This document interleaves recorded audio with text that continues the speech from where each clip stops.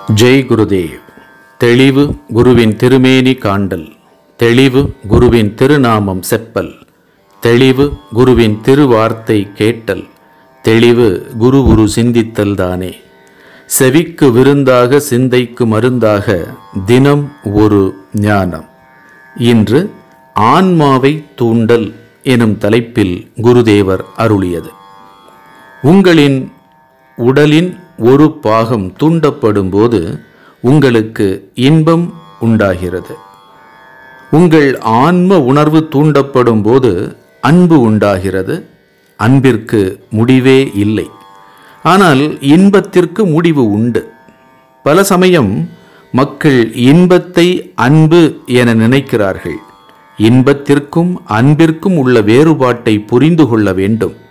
பெரும் அதிர்ஷ்டசாலி மாத்திரம்தான் புரிந்து கொள்வார்கள் சர்க்கரையின் சுவை நாக்கை தூண்டுகிறது. இசை செவிக்கும் காட்சி கண்களுக்கும் கிளர்ச்சியூட்டுகின்றன. ஆன்மாவை தூண்டுவது எது? சாதனாவும் சத்சங்கமும் தான் ஆன்மாவை தூண்டுகின்றன.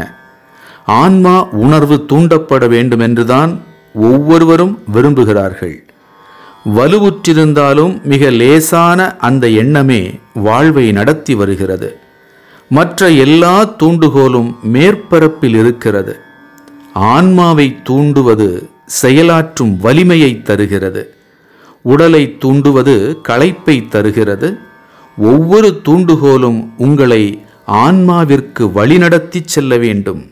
அப்படியென்றால் நீங்கள் ஒரு நல்ல இசையை கேட்கும்போது அதை கடந்து செல்லும் மனநிலையை அடைகிறீர்கள்.